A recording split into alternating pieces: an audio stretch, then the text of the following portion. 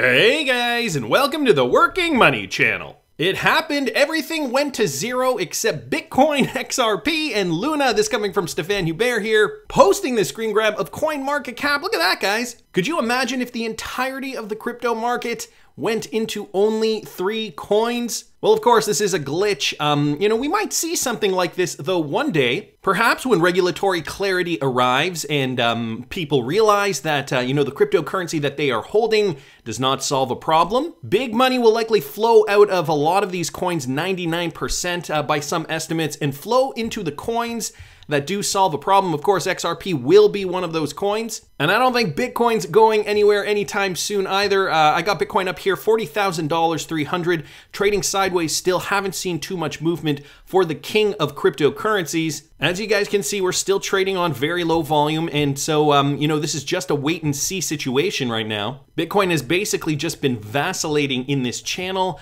um, in this trading channel for a long time, over a year now. So what are we going to see? Mike Novogratz here chiming in with this, brought to us by BondCrypt XRP. He says Bitcoin won't rally aggressively as Fed hikes the rate. So Mike Novogratz, the billionaire cryptocurrency investor who heads Galaxy Digital Holdings, said Bitcoin is likely to continue to trade in a range this year with the Federal Reserve raising interest rates. So Mike Novogratz also uh, thinking that we are going to trade in a range for Bitcoin. So this news kind of sits in the middle of positive or negative sentiment, trading in a range meaning that we will likely not see uh, volatile swings for Bitcoin, at least as per Mike Novogratz. I don't think Bitcoin can rally aggressively until we get a pause, Novogratz said during a TV interview on Bloomberg Crypto. Novogratz noted that he had earlier forecasted a 2022 range of $30,000 to $50,000 for Bitcoin, which was little change Tuesday at about $39,200 in New York trading. The largest digital asset by market value has surged last year to a record high along with other risk assets. Because of pandemic related liquidity the Fed has provided, now, with the Fed about to tighten, investors are reevaluating risk, along with the consequences of the Russia Ukraine situation. Uh, and so here's a quote from Mike Novogratz Bitcoin is a narrative story. It's bringing people into the community. It's hard to bring in new people when their house is on fire. With the war in Ukraine contributing to market volatility, Novogratz said that there's zero chance the Russian government can use cryptocurrencies to circumvent sanctions, something some lawmakers have expressed concerns about. Ultimately, though, Novogratz suggesting Bitcoin going to continue to trade in this range here. Uh, he is estimating anywhere between thirty to fifty thousand dollars. Interesting, considering we've ultimately seen Bitcoin trading in this range for over a year now, and that we are expected to see more of the same. So not too much in terms of ups and downs with regards to the crypto market, at least uh, not as per Mike Novogratz's estimation. Again, very, very different than what we have seen in previous bull runs. And, um, you know, of course, these bull runs have gotten longer and longer over time, right? We got the 2013 bull run, uh, the 2017 bull run. This extended out for longer. And then, you know, if we take a look at what we're experiencing today, 2022, we did start seeing this upward momentum, but likely just consolidating here throughout 2021 and uh, perhaps more into 2022 before we take off and make new highs for Bitcoin. So 2022, a wait and see year. Maybe by the end, maybe by quarter four, we might see something different. It's interesting because the Bitcoin narrative is not cooling down. Michael at Val5 Links bringing this to our attention. Candidate for Senate vows to make Bitcoin legal tender in the US and he vows to make this his primary objective. This is Brian Solston. He has promised to focus on making Bitcoin legal tender should he be elected. The science, technology, engineering, and mathematics and privacy advocate announced on his Twitter on March 15th that he pledges to make the flagship digital asset legal tender his primary objective. Here's a quote I declare my candidacy for U.S. Senate. Making Bitcoin legal tender in the USA will be my primary objective on the Senate floor. Bitcoin is the Great Reset. That's what he tweeted out. In the US, legal tender refers to all currencies and coins issued by the government, such as the US dollar and Federal Reserve notes. As such, new laws recognize them as a means of settling public and private debts, as well as meeting all financial obligations, such as legal fines, damages, or payment for taxes. So we have seen um, already different uh, states allow the use of Bitcoin and other cryptocurrencies uh, for these purposes, for tax payments, uh, as just as one example. And so Solston is saying, I want to actually make Bitcoin legal tender in the United States. I want to add to our current array of options. And so if uh, one should want to pay their taxes or whatever, or I mean, anything really, I guess, in Bitcoin, I want that to be legal. Should Salston manage to join the Senate and successfully advocate for Bitcoin to become legal tender, it would mean that citizens would be able to use the digital asset to pay off debts, among other things. The original creditor would not necessarily be obliged to accept it, but the act of tendering would absolve the debt nonetheless. And clearly, he knows about the World Economic Forum's Great Reset agenda. Uh, the Great Reset Solsten mentions is the name uh, of the World Economic Forum initiative. Of course, as we know, this organization has set uh, dimensions to build a new social contract that honors the dignity of every human being. Klaus Schwab, the WEF founder and executive chairman, said there was a need for a Great Reset. And so uh, this is just explaining what that is, but Solsten clearly understanding the need for this, understanding to uh, allow people freedom freedom to decide what they want to do with their finances. And so, hey, if he gets elected, perhaps Bitcoin could be legal tender in the US. Wanted to thank Michael for posting that. Uh, some Ripple news here, guys. Wrath of Kahneman posting this. Ripple user IDT. They've purchased Leaf Global FinTech, a provider of digital wallet services in emerging markets, serving unbanked customers in certain countries in Africa. They provide services in Rwanda, Uganda, and Kenya to unbanked customers. The Leaf wallet is available on smartphones, non smartphones, and other mobile devices that allows customers to store, send, receive, and exchange currencies on their phones domestically and across borders. So interesting they're mentioning smartphones, but also non smartphone devices and other mobile devices, uh, I suppose tablets. And so that was one of the things that I've always wondered, you know, for, for the people who might not have smartphones and use other types of phones or other types of mobile devices, as they mention here. How would this benefit them? I suppose you would need connectivity. And so even if you do not have a smartphone, uh, you know, this technology is still available to you. The Leaf app is available on the Google Play Store, according to IDT. So some interesting news here with regards to Ripple user IDT. Originally, that was called the Boss Revolution app, and so uh, now they're providing services expanding into Africa, namely Rwanda, Uganda, and Kenya, those countries in particular. And although no Ripple use is confirmed, uh, as per this tweet, it is interesting to note that uh, they are serving unbanked customers, something that Ripple has uh, certainly focused on, definitely mentioned in speeches, talks, interviews, you know, whenever they were being interviewed uh, way back when in 2018, 2019, those were the high talking points. Anyway, gonna move on, guys. Cryptic Poet mentioning this. Ripple partner Al Ansari Exchange teams up with NIPL or Nipple? Is that what they're called?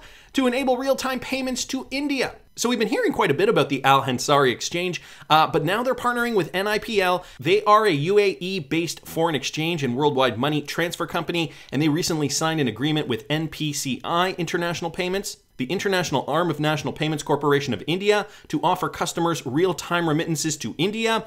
The partnership was sealed as Al Ansari Exchange continues to align its strategy to the joint UAE-India vision statement that aims to advance the India-UAE comprehensive strategic partnership to new frontiers and new milestones.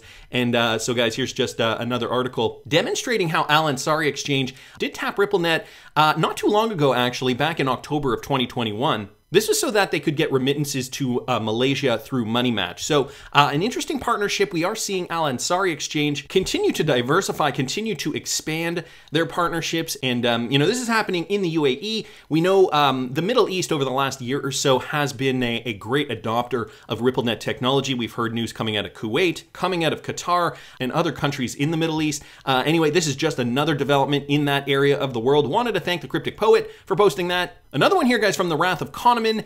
Uh, he's tracking this Ripple user bKash. Okay, we've we've heard about bKash in the past.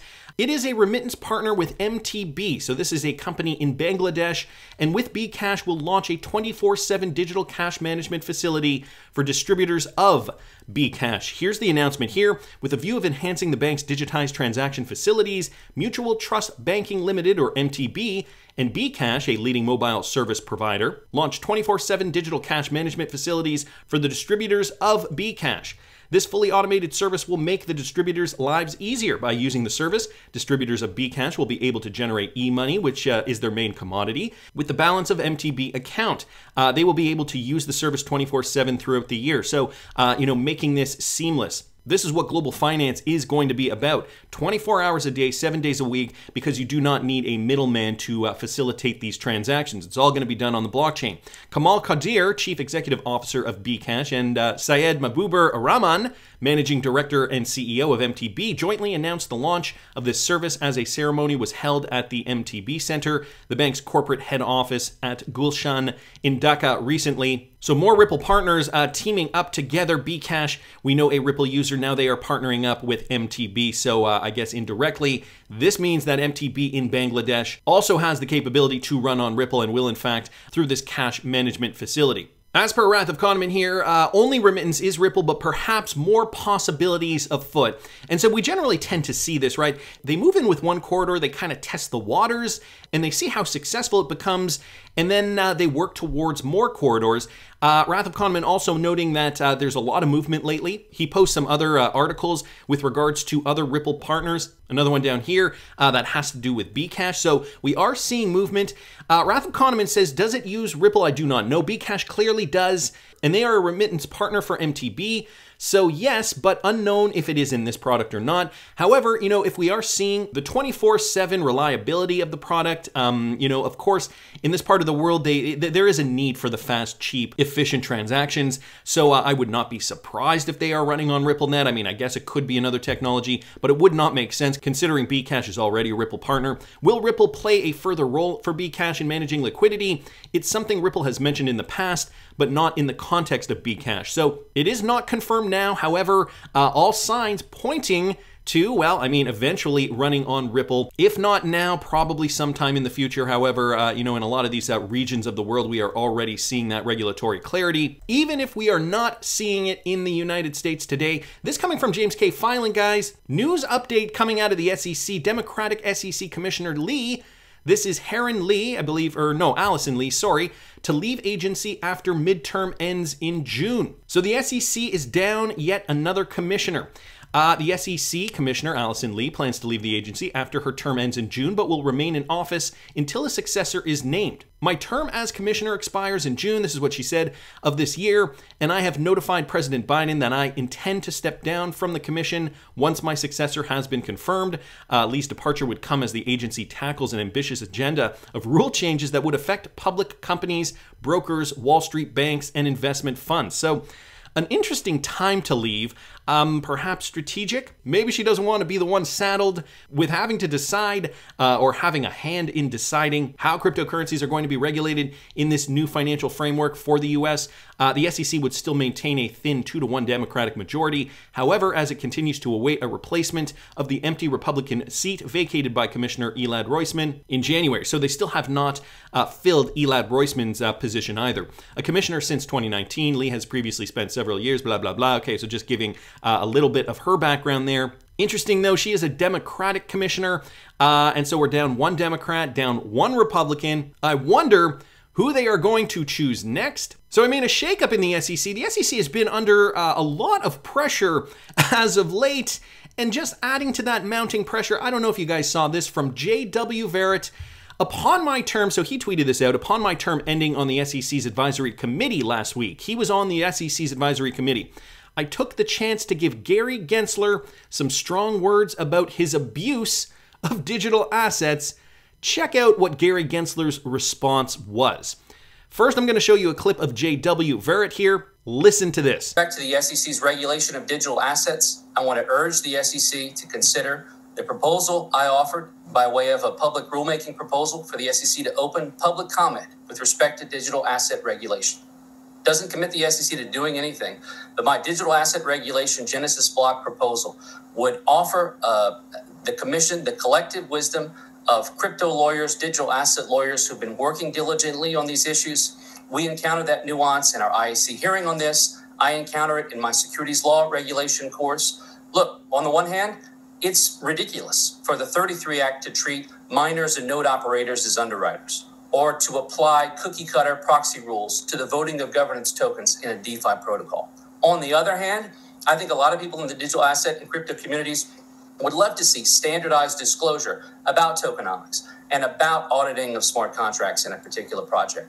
I think the digital asset regulation Genesis block proposal can help the SEC to achieve that and uh, ultimately help digital asset owners like me rather than threaten their the value of their interests with over application of the Howey test. And so I, I hope that my proposal will get sincere, sincere um, consideration.